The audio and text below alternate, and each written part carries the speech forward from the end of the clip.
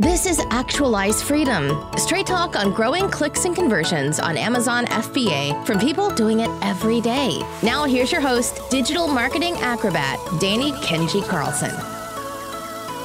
What's up, guys? Danny Carlson here with the Actualize Freedom podcast, and today's guest is a very interesting case study. So he does, has a multiple eight-figure business. Um, in various areas of Amazon. So he's an Amazon seller with three brands, also has a pretty massive coaching community, which um, right before this call started, we got a little office tour, and it's pretty impressive the office he's got set up over there. Um, also in the Amazon seller software space. So I think this is going to be really interesting insight because not many people have the insights from that many different angles from the coaching, from their own actual experience selling, and from the software side and all the data that comes with that um, and also the agency side. So Adam's pretty much got them all covered. So if you guys want probably a really unique insight into the Amazon world, it's going to be from Adam Hudson. How's it going, Adam? Whereabouts are you joining us from today? Man, I'm uh, on the Gold Coast of Australia today, so it's it's beautiful time of year here. Awesome. Well, the weather never really gets bad over there, doesn't it? So don't rub it into anyone over in a cold part of the world right now. So, Adam, where I'd like to start in this interview is you have a really diverse background when it comes to starting businesses. You've been doing this for a long time. Um, you've been through a lot of ups and downs. So maybe take us through like what are some of the the key pivotal ups and downs of your entrepreneurial journey? Like, what are the moments that like really defined you into the entrepreneur that you are today with this multiple eight figure business? Yeah, look, um, you know, I think uh, to give people context, I'm 45 years old now, and I started, um, you know, with my first Tony Robbins book when I was 17, and I finished up working at my last job when I was 22. So I've sort of been self-employed full time as an entrepreneur since the age of 22. So 23 years of yeah, proper entrepreneurship, full time self-employed in my own businesses. And I think, like many people, it was just a desire for freedom, which is what I love about your podcast, actualizing freedom. How do you actually do that? Um, and I think that really lies at the heart, if you peel the apple or peel the onion, as they say on most uh, entrepreneurs, lying at the heart of it is they just want um, dominion over their own time, agency over their own life, you know? So, really, that was what guided me. And along the way, many ups and downs, and more downs than ups. And you often find that. Um, it's the hardships and the really tough lessons that you read about in personal growth or business books um, are one thing, but when you actually live them, that's what actually changes you into a, a much better and more competent entrepreneur.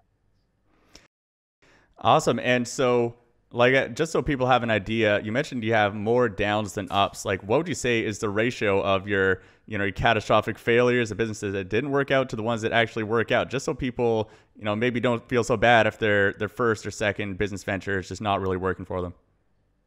Yeah, look, it's a stigma I think we as entrepreneurs need to overcome really quickly, and especially people in Australia. Like in Australia, it's almost illegal to fail. People give you so much grief if you fail at something. In the US, it's kind of a lot more acceptable for to have a go at something and to fail. But it, you know, failures doesn't don't necessarily mean losing your life savings or anything. They can just be businesses that are just not going that well. They just they're not clicking. You're not making enough money, and I would probably say if you took my net worth and divided it up between all the different business ventures, it's like the 80-20 rule. Like 80 percent of the wealth came from 20 percent of the businesses.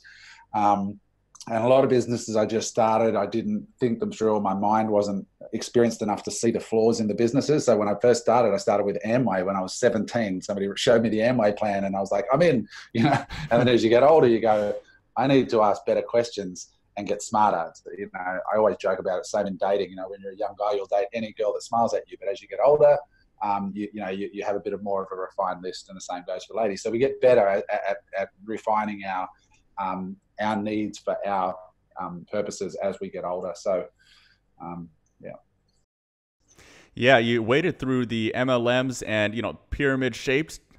Now you can argue whether it's a pyramid scheme or not, but you you went through a lot of different things before you arrived at what you're doing now. Um, and you do have a really interesting take when it comes to creating products that are defensible on Amazon as opposed to just things that people can copycat. I know that's a big part of your strategy that you teach with your students um, and have some very successful case studies with that. So, explain your process for creating products that are more defensible, that are actually unique, um, and bring something unique to the marketplace.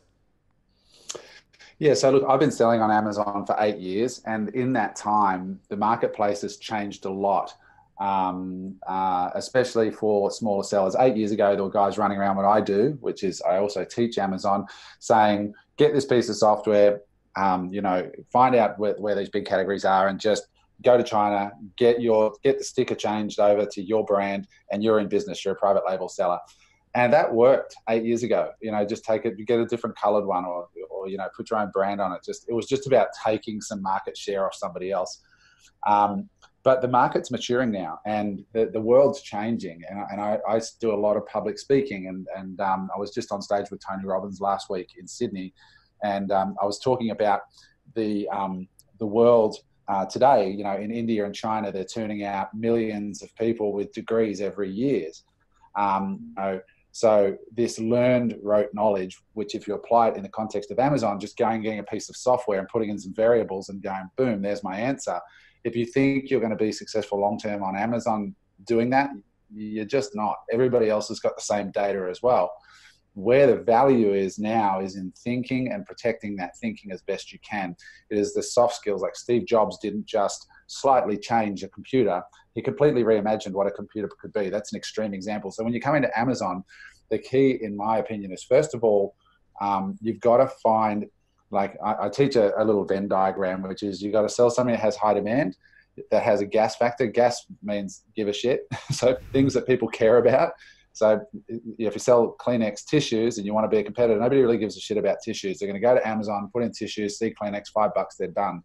But if they're going in and they're going to buy a wedding dress, there's a high give a shit factor. So people are going to go through 10, 20, 50 pages, are going to read the reviews, going to look at the photos, and they're going to reward you financially with the purchase and perhaps a premium if they love the the design that you've made. So approaching Amazon now, and the last bit is is is op, um, market opportunity. So where is there a gap? So if there's lots of them selling and people care about the product, where is there a gap in the marketplace? And I often use the example of wedding cake toppers. You just see like two white people that are skinny as wedding cake toppers. So what about our, our, our, black friends? What about our gay friends? What about overweight people? What about Trump supporters? What about Hillary supporters? You know, like young people, people with tattoos, you know, like there's all these sections within those categories that are underserviced. So it's really having that imagination to create a product that does take more time and it does take more effort and does involve getting some designers involved and things like that but then you create a product that's visually differentiated in the market super super key you know? It has to stand out because you know when people search amazon it's like the tinder of products. They put in what they're looking for and the first thing we look at because we're shallow is the photo. If we don't like the photo or what's in the photo we're done. So same with products. You've got to visually stand out in a way that uh, is serving a market that is underserviced. If you can win those two things then you, you know you've really got the starting point of a, of a, a proper market and you can protect it if, if, if, possible with a design patent or something. And they're not expensive they're not hard to get um, so that you can uh, patent the way it looks if it's unique and and look after yourself a bit better. It's slower but in, it, otherwise many many categories now races to the bottom yeah, I just had a hilarious image pop into my head when you said wedding cake toppers for Donald Trump supporters. I just had like an image of like, you know, a bride and a groom with Donald Trump in between as as the priest, like like marrying there them or something. So so anyone who wants to go launch that product on Amazon, I expect a royalty for that one. Um, so send it to my email, please. Um, but so one thing I think a lot of people they they understand this and they agree that like obviously it's better to create a proprietary product that provides real value and is unique and everything like that.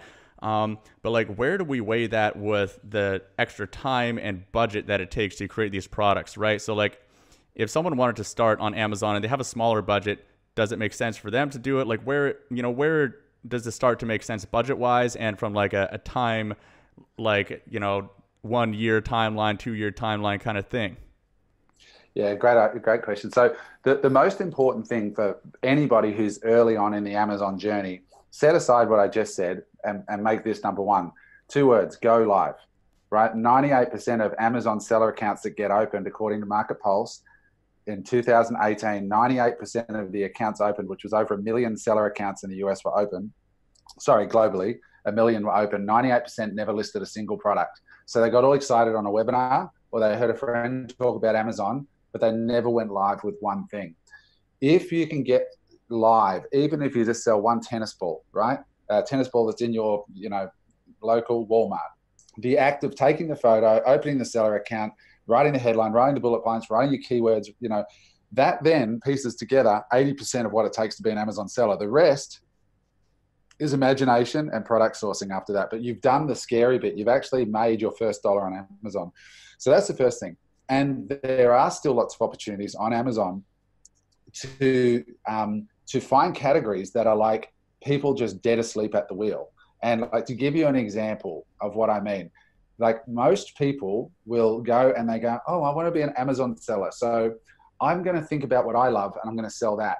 Well, that's a nice touchy feely thing, but it's business, right? You you go where the money is, you go where the opportunity is. You don't go where your heart is necessarily first up, especially in a products driven business. If if you you love something and it's close to you and you go to Amazon, everybody sucks that's selling there, great. But that's not going to be the case for most people.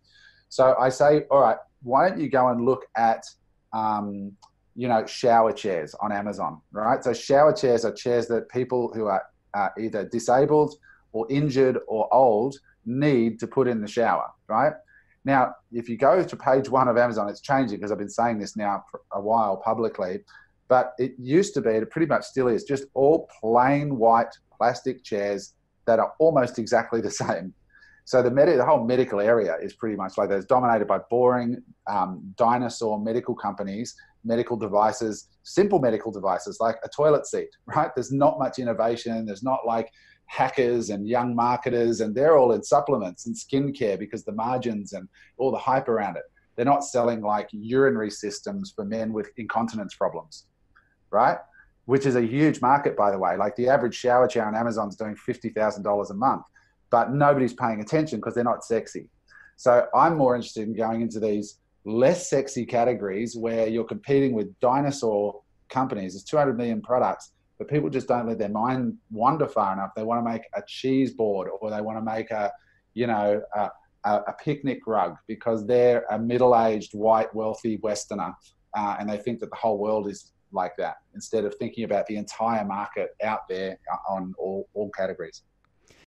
And so you've explained a little bit of your criteria so far for really identifying these products. Uh, what would be your criteria for um, like what's an indicator that a product is just a boring product that there's room for you to create a, a better version of it or maybe a proprietary uh, proprietary product that can fit the same need like what are your indicators that you're looking for of these like stagnant products ripe for innovation well, it's interesting. In our in our software in ZonGuru, we've just launched a tool called Niche Rater. So you just push a button, like you've just done a search for shower chairs. Push a button, and it it looks at the top listings and ranks it based on how many um, competitors there are, uh, how um, how many of the photos of the of the uh, photo set are being used. Like often in the medical category, there's like two photos of the product. That's it, and they're making twenty to fifty grand a month because Daryl in Ecom has just bulk uploaded their entire catalog. Right? Um, they haven't actually had somebody like you know most small third uh, private label sellers who are actually feeding their kids off their Amazon listings those people that are feeding their kids off their Amazon listings can eat them alive, right? Um, so we, we have a tool there. You push the button, boom, it, it actually ranks and, and shows you the opportunity based on the current competition that's currently there. There's a whole bunch of factors. But I look for things like lazy sellers, right? That's really appealing to me. Really non sexy uh, niches. Like I would never go into supplements, for example, unless they were like really fringe supplements, like, I don't know, dogs with anxiety tablets. You know, that, that might be something I'd be looking at. Or, um, you know, uh, cats that have a hair loss problem. You know, they're still big markets. Self-conscious but, cats with a hair loss problem. yeah, you know, great. there could be five hundred thousand cats in America that fit that category, but you can bet your bottom dollar that the owners are nuts, right? Because they're crazy cat people that love that cat. So rather than going for like um, you know, weight loss cream or, you know, Garcinia Cambogia tablets at one point was like everybody was, you know, but people go, oh, look at the money in, in you know, like cellulite cream. And you're like, yeah, and look at how many people are selling it. Um, it it's just, it, you know, I look for the, the less obvious. I would, I, I would recommend to people spend three months looking for that one opportunity where you go, wow, that's, that's really good. And I've seen them and they're always boring, non, you know, like yeah, I saw one the other day, which is, you know, it's my own idea. So I looked it up. Was you know, I pulled into our car park here. We've got a big office here. You just saw, and you know, where the cars pulling into the car park, there's that sort of rubber stopper, like a curb that's on the concrete. They do like ten or fifteen grand a month, and there's like no innovation. It's just like these old school industrial companies selling rubber strips, and you know, that to me is really interesting because Daryl in Ecom has taken a shitty photo and uploaded their whole catalog and nobody cares but people need those things. Property developers all over america who are building on uh, building sites now they're just ordering off amazon and having it shipped direct to the, the work site instead of going to home depot. So you know how much is there in plastic buckets? How much is there in you know just just boring stuff that people need? Rivets braces um, for builders you know th- all these kinds of things are what's interesting to me and not what you know the inexperienced mum and dad Amazon seller wants to sell what looks pretty. Yeah, no, that makes a lot of sense. Um, like the example you gave earlier of the young marketing hacker guys, like none of those guys want to go if they're out meeting girls at the bar. They don't want to tell them that they sell incontinence bladders for old men. You know what I mean? Like they they want to be exactly. selling supplements. They want to be selling something sexy. Um, so maybe can you take us through an example of how would you go about developing a unique product to serve this kind of market? Well, it depends, right? It, it, it depends on, uh, in some cases, we have a student who just found a market, just it was the photography, that, that the people in that whole category just sucked at photography. Nobody did a good job. So sometimes the innovation could be as simple as hiring a great photographer, but at the product level, if you're going to create something cool, like I just launched a, a patented product in one of my brands. I actually hired a uh, three designers on Upwork, and I, I gave them 500 bucks each, and said, just draw me some sketches this is the product that I, that I want designed. It's a mold product. It'll require a mold, and the mold is about 10 grand. So I, I, said, before we go too far, just, just give me some ideas. Here's the space. Here's all the top selling products on Amazon in that category.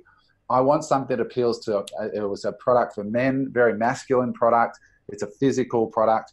And um, gave them a really detailed brief.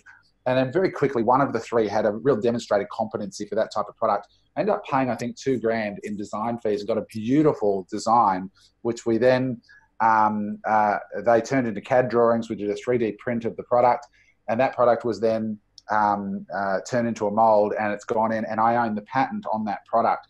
So it cost me about two thousand dollars for the design and ten thousand dollars for the product. But I already sell about eight products in that category.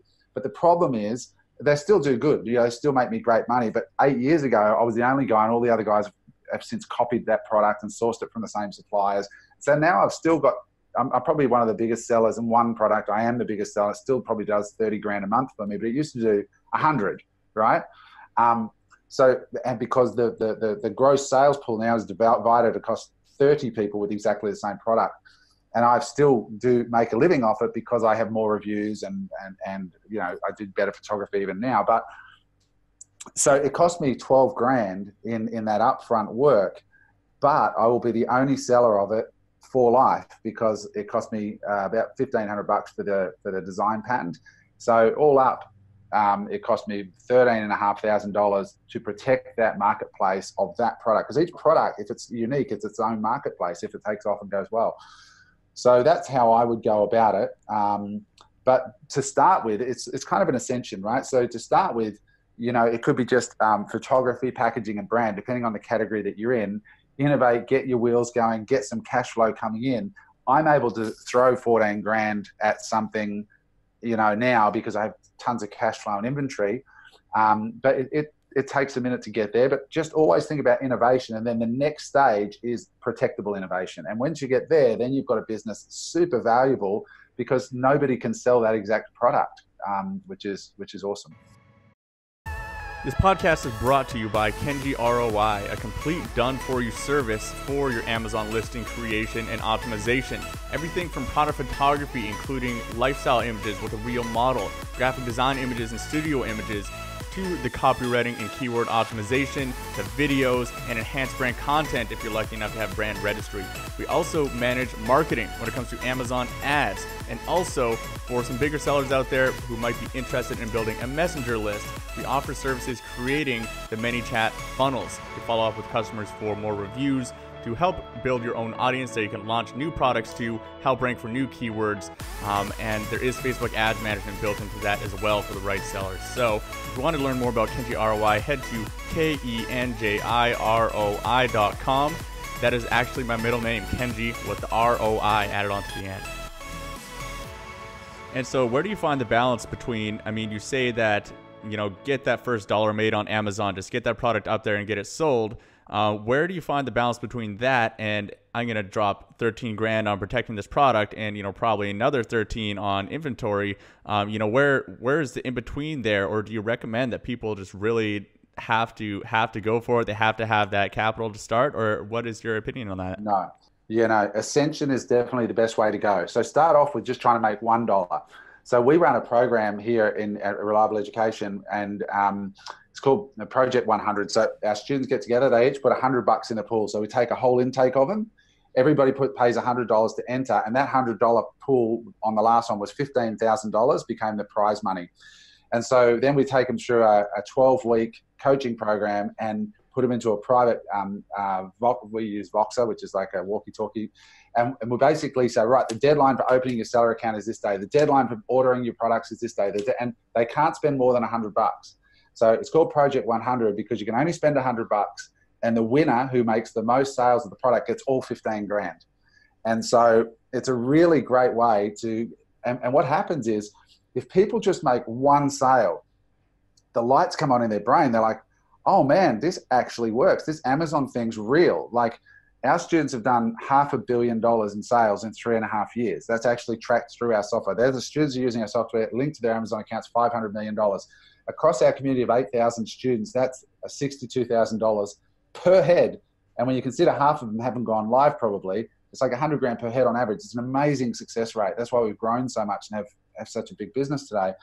Um, but uh, the, the whole point of that project 100 is to get them live and even though they see that 500 million in sales until they make one dollar themselves it's not real for them so once they've made that one dollar you see them go oh my god i have an amazon account i know how to create a listing and i know that they pay me all i've got to now do is get my first product so start off with a product that just you can go into the market you can differentiate through photography and branding and um, and then take a piece of that market, right? Get your, yourself up to five, ten thousand dollars a month in sales.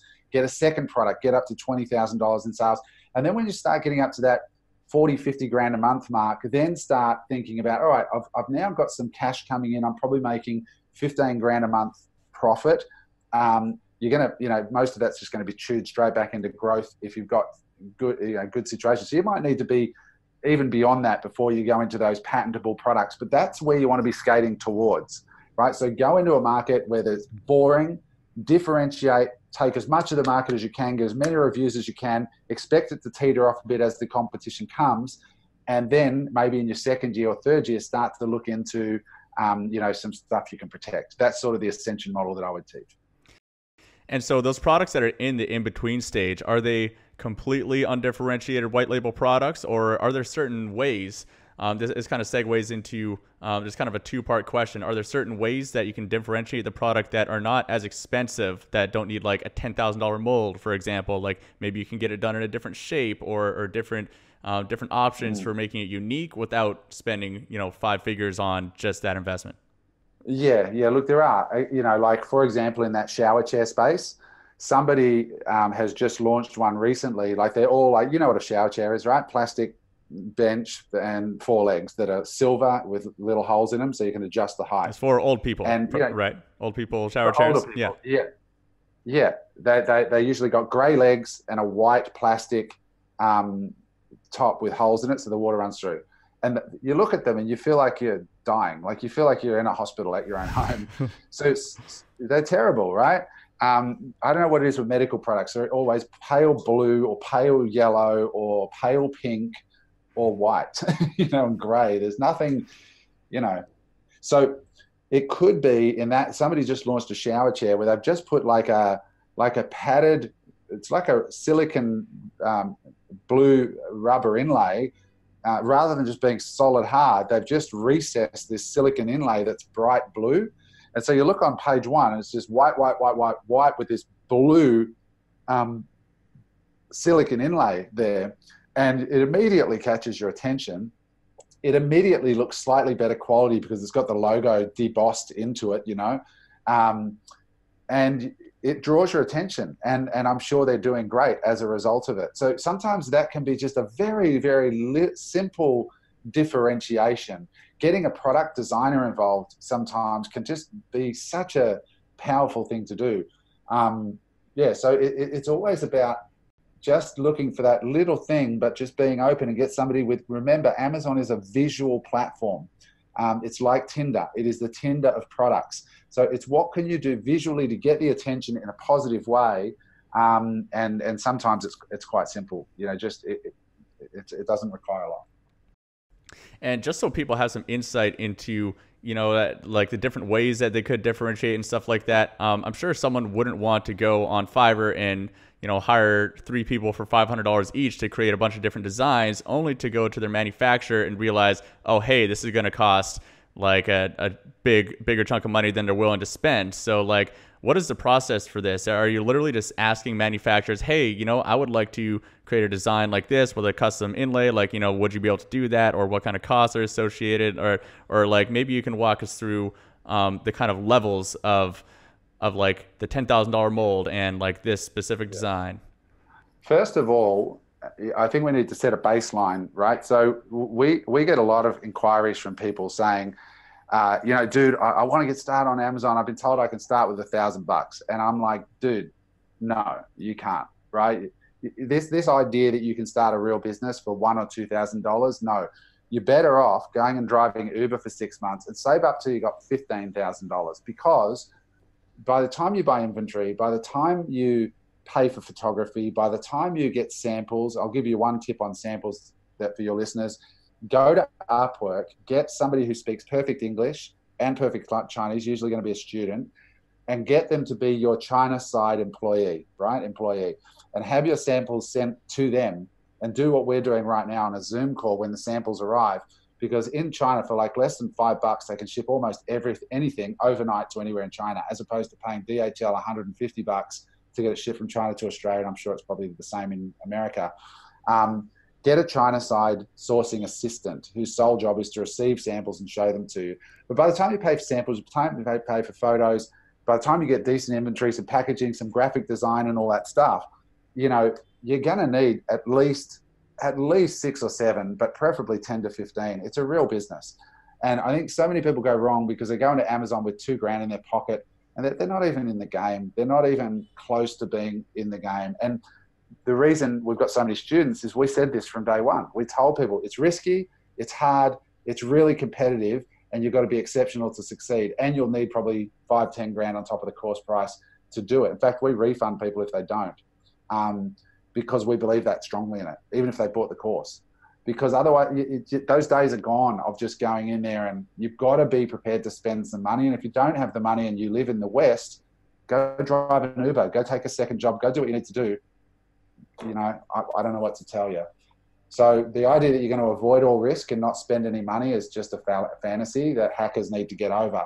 You need to actually realize this is a business and you need to spend some money.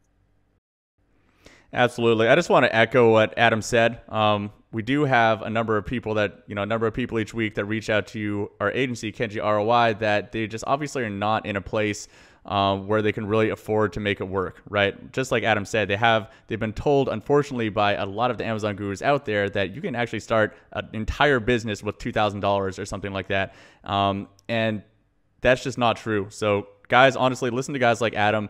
Um, he's telling the straight talk. Like 15 grand is like is great.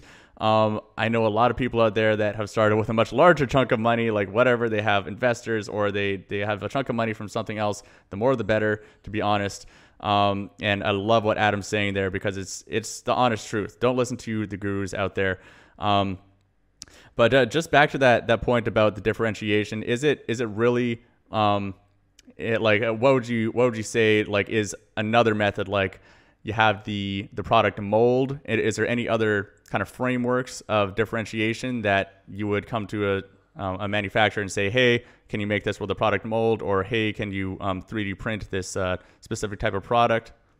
Yep. Yeah. Sometimes, like with the cake, the cake molds, right? Mm-hmm. So the the molds for those are cheap because they're silicon molds, so they're far less expensive than, for example, a glass mold, right? Where you've got to have they're made in cast iron, right? So they're different types of molds, and this is what you learn by looking at different categories. Um, so, you know, um, so in a cake mold, you just need like if you went to, um, uh, you know, a, a, cartoonist, right, on Upwork and said, I need some really cool um, cake molds for these markets, and you think about America as a marketplace and who's getting married there, you know, like we sort of half jokingly said Donald Trump uh, is funny, but there's millions of people that love Donald Trump in America, right? That's it's actually not altogether an awful idea. Um, and a cake a, a, cake topper has gas factor. People do care about it because it says something about them. But you know, for take it to another level, like bedpan that you that you uh, people have to wee into when they're in hospital, right? There, there's no innovation in the bedpan space, not surprisingly. So what if you just put a target, or you put a politician's face on there, or you you know what I mean, or you, you know, smile, you're not dead yet. Um, so, something like we're still human beings at the end of the day that are using this stuff, right? There's a lot of you know, um, there's there is a market out there. If you're in these huge categories, you know, rather than trying to compete with the plain white bedpan that's probably doing $20,000 a month, try to differentiate in a way and appeal to a market that might only be five or $6,000 a month, which honestly is going to be much more suited to the smaller Amazon investor anyway, because you're not going to be able to keep up with a 20 grand a month in sales from the get go if you're struggling to get 15 grand together, right?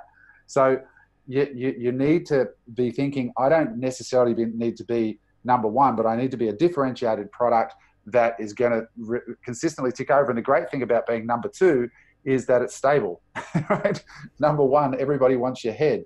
Heavy is the head, right? That, that wears the crown. So there's nothing wrong with being a consistent number two with a freaky little product that just the freaks like. Um, so I, I'm really interested in that. And I've seen students come in and they go into a huge category, right? For example, weighted blankets. And they go, oh man, the weighted blankets are doing $200,000 a month and all the big guys with unlimited money are going to go in there and they're, they're, they're happy to trade on six, eight, 10% margin. I mean, do you want to start an Amazon business on less than 10% margin? Forget it. That doesn't warrant the risk. Their game is we have a shit ton of capital. We can either put it in the bank and get a term deposit for 3%, or we can put it into Amazon and make 10. We're making 300% more than we can anywhere else. You don't want to compete with Amazon basics right?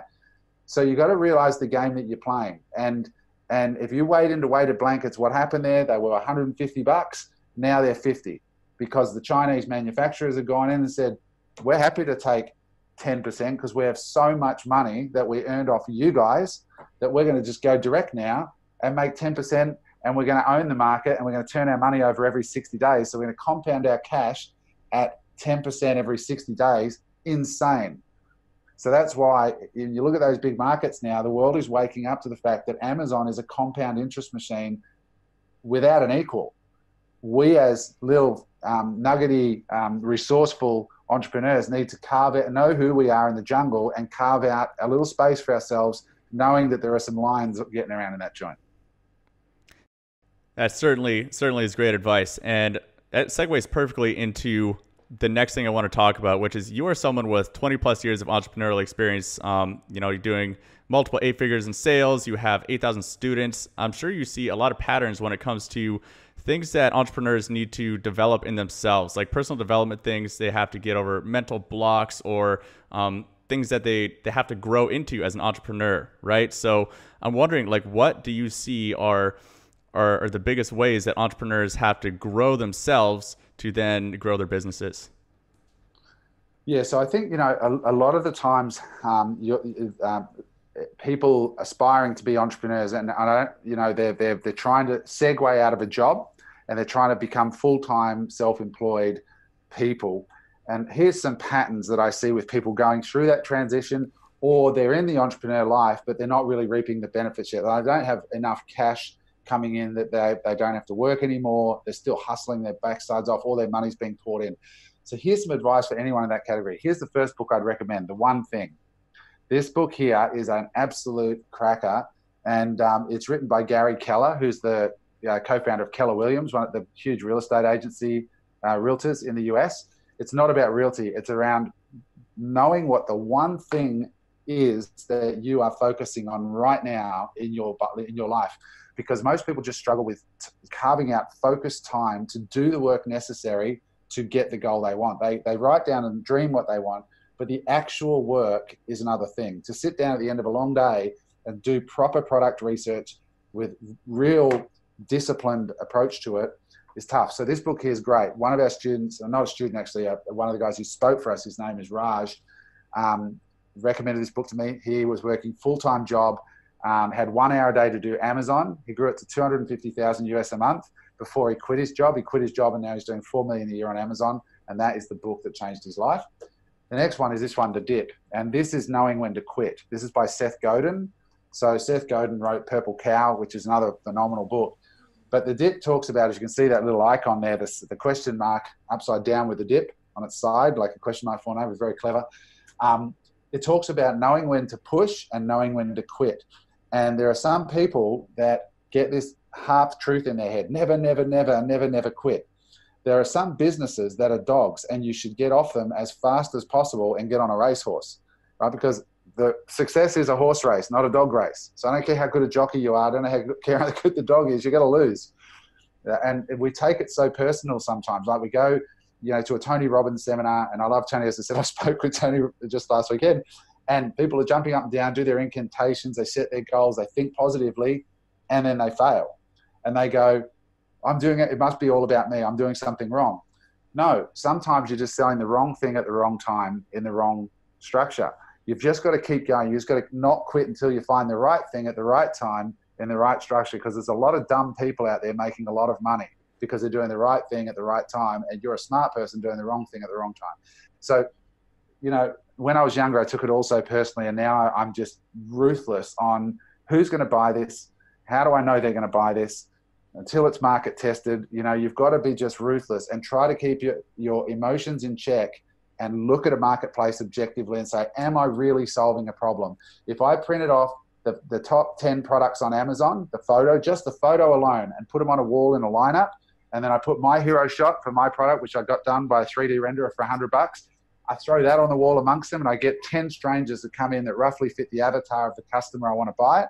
Which one of those photos do you like best if you're buying one of those? If I don't get picked four out of the 10 times, I'm out of there. it doesn't matter. You know, I need to know it has to be that obvious. And people just don't have those disciplines. They fall in love with their own story and, and, and then they're screwed. Yeah, absolutely. Super, super important advice. Um, and if you had to choose one more resource to give to the Actualized Freedom audience, whether it's a book or um, or anything, what would you choose? Oh wow. Uh, the resource probably isn't one you can get off the shelf, but it's to get yourself in a mastermind and um, get around three to four other people that, that want to actualize freedom as well that legitimately want agency over their life and are prepared to do the work. So look for three people that you like, trust, and respect. And those are my three rules for doing business with anyone. Do I like this person? Do I trust this person? Do I respect them? And if it's no to any of them, I'm out. But if I like, trust, and respect them, and we're both going for a similar goal, might not be the same goal, but we're both moving towards it. Having a meeting once a month, and this is in Think and Grow Rich, Napoleon Hill. They did this way back when having a meeting once a month where you get together and you say, all right, this is what I'm shooting for. So last month, Danny, you said that you were going to do this in your business. You obviously have goals and things you're shooting for. And I go, Danny, how did you go last month with that? And all of us are going to ask you. Now, because you know that's coming, we're all going to ask you, you're going to do those things because you know if you don't, we're going to give you shit, right? And so you do those things. And if you don't, we give you shit. And then we say, Danny, what are you going to do next month? You go, all right, I'm going to do this, this, and this all right, cool, we're going to commit to it, bang, and then it's time to change to the next person. By holding each other accountable to the actions that are required to, to get the things that we want, that's how those actions get done. So a mastermind's really important. And I've been in masterminds. I pay to be in masterminds. I've been in ones that I've formed for over a decade now. And um, and I've seen my friends, you know, who, who were in those masterminds. One of them just sold his company last year for 130 million in cash. Uh, another one sold in the private trade sale for 40 million. And when we started 10 years ago together as mates, you know, we were these were pipe dreams, right? But we just set you know monthly accountable uh, actions held each other accountable, and it cost us nothing more than a bottle of uh, red wine once a month to, to share down. And and we also developed great friendships. Like next weekend, I'm going away with three of my mastermind friends on a on a, a, a yacht up in the Whitsundays. We're just going to go sailing for a week as mates, just shoot the shit. We're all successful. We've all made millions, and and it's because we supported each other on the way. Love that. I love that. That's a great note to end on. Um, and mastermind groups for myself personally have been incredibly, incredibly valuable as well. And I can certainly say that I would not have built what I have today if it was not for the support of the various people um, and the real strong relationships that are built with those people over the years in the mastermind groups. Uh, so, Adam, man, this has been incredible. Um, went over a lot of really valuable stuff here. And if people want to find out more about what you do online or reach out to you, where can they do so? The best is just Reliable Education is our company name. So it's www.reliable.education. There's no .com. Education. Come and check us out. And um, if we can help you in any way, please feel free. Just know, like you, they'll get it straight. Awesome. And guys, if you want the show notes or any of the resources mentioned in this episode, we'll have that over at actualizedfreedom.com. And if you haven't already, please go leave us a review on iTunes or any kind of whatever podcast app you listen to us on. Leave us a review. Really like to hear your feedback. And until next time, guys, take care. This podcast is sponsored by the Helium 10 suite of tools, and we at Kenji ROI have been using Helium 10 for more than three years now. They have so many tools packed into one. I don't think that there's a better value. Um, and we use it all the time for ourselves and our clients. So we can actually recommend it from real experience. We use their keyword tracker to see how our product launches are doing, the keyword indexing tool to ensure that you're actually showing up for your main keywords. Super, super important step right there. And also Magnet and Cerebro, a really powerful combination for finding keywords your competitors are using or just finding new keywords to put into your listing in general. You should be using this on, you know, at least a monthly basis to see if any new keywords are coming up um, because new searches are coming up all the time, guys. Like people are searching on Google.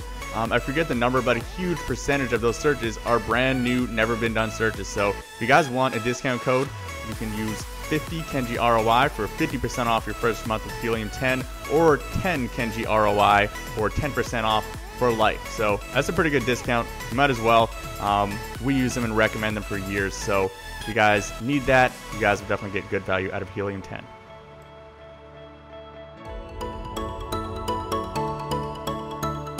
For show notes and resources mentioned in this episode, visit kenjiroi.com.